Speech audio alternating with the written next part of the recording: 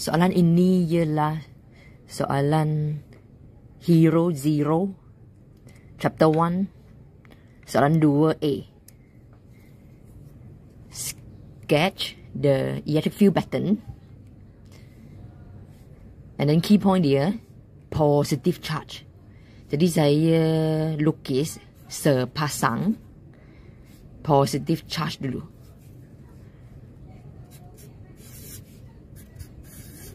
Ini ialah sepasang a pair of positive charges di mana magnitude of the charge sama. Okay, equal mean sama eh. Charge dia sama. Kalau ini positif 1Q, ini pun samalah positif 1Q. Okay. Kalau ini 2Q, sorry. Kalau magnitude ini satu coulomb, ini pun satu coulomb lah.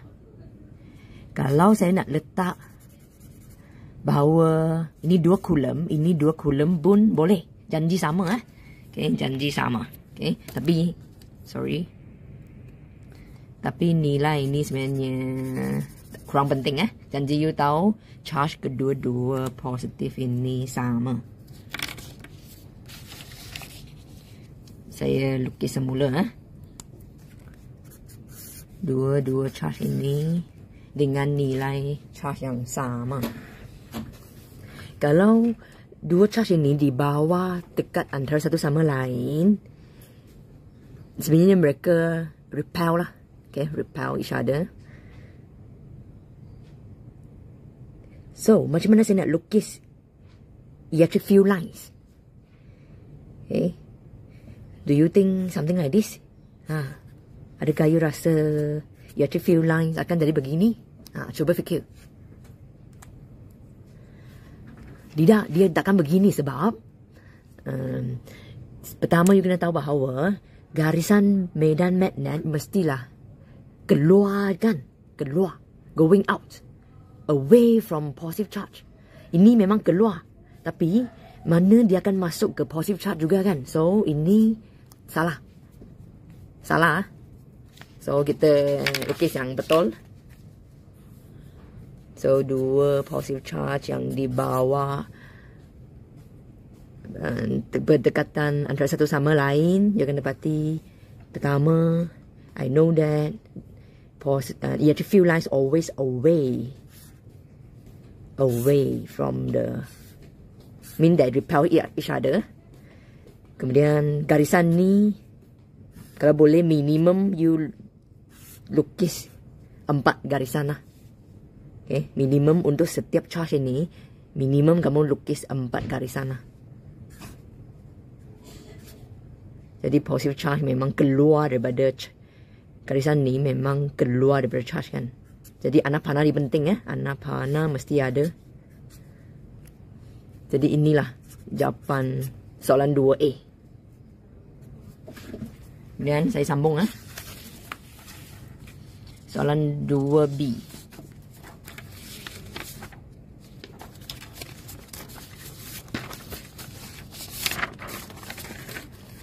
Baca soalan dulu. 2B dia minta sketch the electric field strength direction. Okay.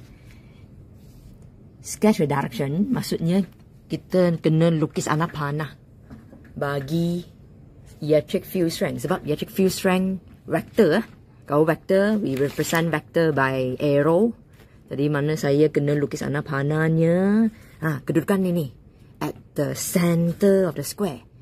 Saya mesti mula lukis anak panah dekat tengah square lah. Tengah square iaitu dekat sini. Jadi dekat sini saya akan lukis anak panah. So kalau cara medium begini ya.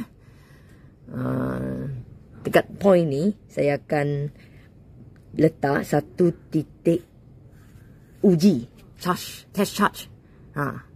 Kalau dia minta anak kalau dia minta arrow bagi electric field strength, I will always put positive test charge here. Mesti positif ah. Ha? Letak dia positif sini. Kemudian ini negative charge kan. Ini negative point charge. Negative positive mesti dah repel kan. Jadi ini E1 saya. Okay. Kemudian positive positive repel juga. Jadi ini E2 saya. Okay.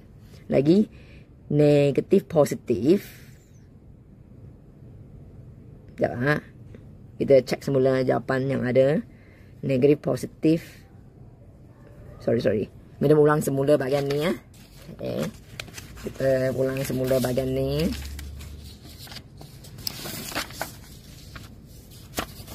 Kita buat semula, kita buat semula soalan ni. So ini Q1. Ini Q2. Titik tengah kat sini kamu tengok soalan yang kamu ada pada kamu sendiri ya. Ini negatif. Jadi dekat titik tengah sini kita akan letak sebab dia nak electric field strength pada titik ini kan. Jadi saya akan letak positif test charge dekat sini. So negative positive attracted. So E1 saya dekat sini. Semasa saya sketch ini saya kena pastikan ada anak panah dengan label sekali. Positive positive repel. Jadi E2 begini. Okay, positive positive away kan, away from point charge. So E2 Okay. E2 Sekejap ha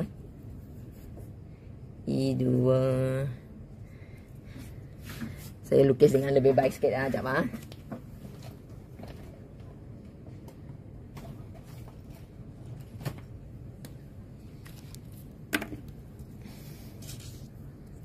Kita lukis lebih baik untuk bahagian ni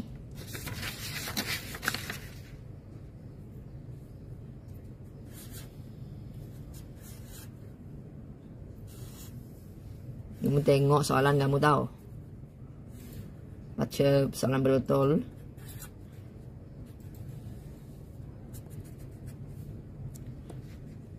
Ini negative Q1. Ini positive Q2. Negative Q3. Jadi dekat sini kita letak positive charge. Kita tengok interaksi di antara negatif dengan positif dulu. Negatif positif attracted. So E1 sini. Positif like charges charge yang sama repel. Jadi E2 kemudian positif negatif attracted kan attracted. Jadi E3 kita begini. Ha. Jadi ini baru jawapan yang betul bagi 2B Roman 1. Okay, ini baru jawapan betul lah. Ha, cuba tengok betul-betul. Okay, ini dia. Dan seterusnya, kita nak kira net electric field strength. Kamu baca soalan sendiri ya. Eh?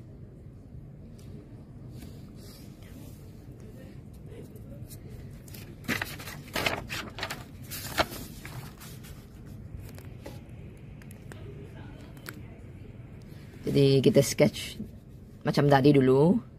Uh, E2 betul. E ini sepatutnya kalau ikut jawapan tadi ini E3 kan. Ini E3. Ini E1 ah. Ha, ini E1, ini E3, ini E2. Ha, ini dia. Okay. So, to find the net electric field strength, direction important. Okay. Direction important sebab ini adalah vector kan. Okay to find the resultant vector, net vector ni, net electric field strength equals to resultant electric field strength. Eh? Maksudnya semasa kita kira resultant, resultant means we must add on all the vectors by consider the direction. Okay, jadi sebab tu arah ni penting. Arah semua ni penting. Okay, jadi untuk jawab soalan ini, kita cuba kira nilai E1, E2 dengan nilai E3 secara berasingan dulu. Kita kira nilai dia dulu. Ah. the magnitude of E1. So we calculate. How we calculate? We calculate by KQ over R1 square. Ini pun Q1. Remember this one point charge ah. Ini point charge. Jadi kita kira dulu K sama dengan 9 exponent 9. Q1 kalau diberi ha Q1 given magnitude of charge Q1 10 microcoulomb. Ada negatif sign dekat sini kan? Ha, cuba fikir, adakah kita kena ganti sign charge dekat sini? Sign negatif itu. Ha. Fikir sekejap. Ha, ini penting ya. Tak boleh ganti sign negatif bagi electric field strength. Okay, tak boleh ganti ya. Walaupun ini negative point charge we just substitute the magnitude iaitu 10 micro. Micro maksudnya power negative 6 eh? per r square. Ha. R square. Jadi R square kena kira juga. Eh? Hmm, tak bagi nak kira sama-sama kat sini. So R is a distance. Eh? R is a distance from here Macam guna highlighter sini. Mana R kita. Dari point charge hinggalah titik ini. Ini R kita. Jadi ini R1 saya. Ini R1. Okay. Jadi saya nak cari distance ni berapa. So how we are going to find. Mathematics ha. Cuba fikir sekejap. Macam mana nak kira R ini. Hmm. So, madam consider this triangle ah. Saya lukis. Saya lukis bahagian hijau ni. So, saya lukis. Saya keluarkan segitiga ini eh. Cuba tengok segitiga ini. Ini 10. Is a square right? Read the question. Kalau segitiga sorry segi ambas sama ini ini 10 ini pun 10 kan kalau ikut teorem Pythagoras kalau ini 10 10 cm 10 cm maksudnya 0.1 meter 10 cm 0.1 meter. Ini pun 0.1 meter. Jadi saya boleh cari panjang ni kan? Okay, saya boleh cari panjang keseluruhan saya boleh pan, cari panjang keseluruhan ni yang saya label pink ni ya. Saya boleh cari. Okey. Jadi saya nak cari panjang ni dulu lah panjang yang pink ini dulu. Okey hmm macam mana cari kalau ikut term Pythagoras the longest length macam mana cari ha jadi kita pun buat yang begini ya. Untuk cari panjang hypotenuse iaitu A, sorry, untuk X ini. Apa yang kita buat? We do something like this, right? So recall back ah. Recall back the concept for the theorem by Pythagoras. Kemudian kamu kira ah.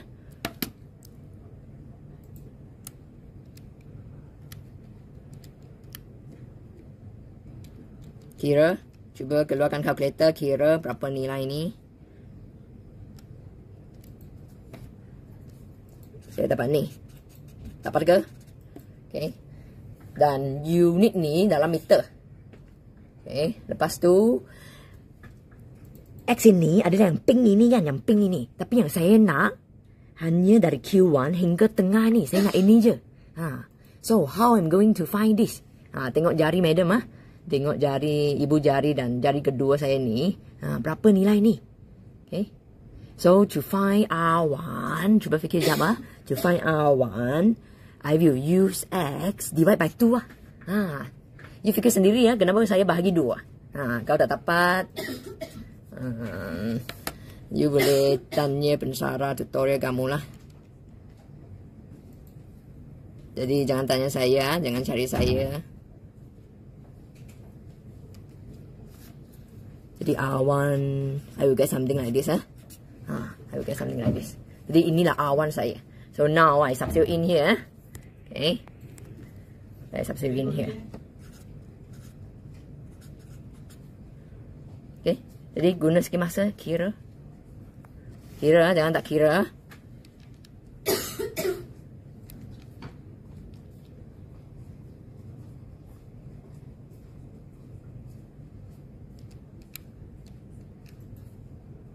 Jangan lupa sini. Ha, sini square kan? Ha, kena square kan ni.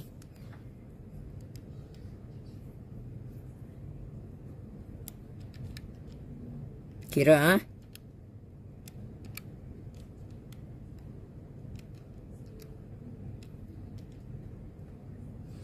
Jadi kalau jawapan saya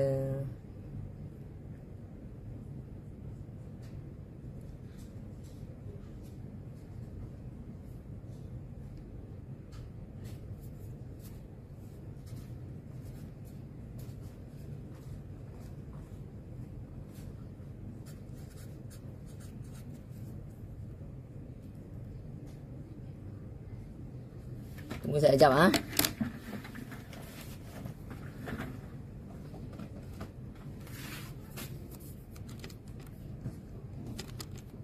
Dapat dah.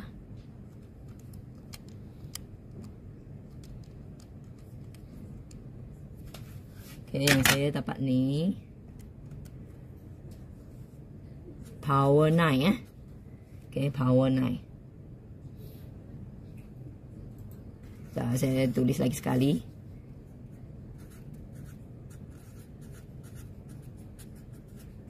Jangan lupa unit dia. Unit bagi electric field strength ni Newton per coulomb. Okay. Jadi ini E1 saya. Okay. Ini E1 saya.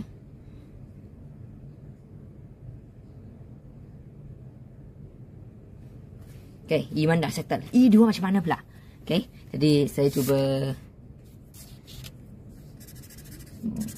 buat dekat sini eh. E2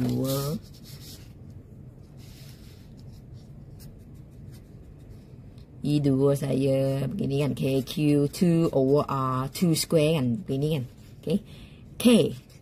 Constant. 9 exponent 9 Q2 dia kata Q1 dengan Q2 sebenarnya sama kan. 10 power negative 6 and the distance kita tengok R2 dekat mana eh? jadi kamu cuba tengok. Ha, maka biru ni. A2 the distance from the center.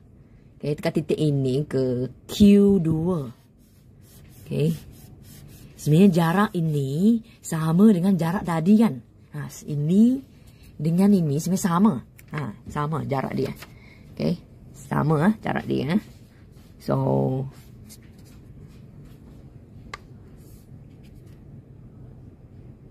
Saya gantikan ni 0.0707 ni ke dalam sini. Ha. Ini, ini tengok. Nilai dekat sini sebenarnya dengan ini sama kan? Exactly same. So, tak payah guna calculator dah. Inilah E2. Dan kalau you pergi tengok E3, sebenarnya nilai E3 pun sama.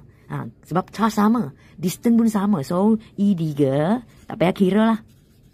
I get something like this. Okay. Jadi memandangkan. Kita tengok ah. Sebab E1 dengan E3 ni.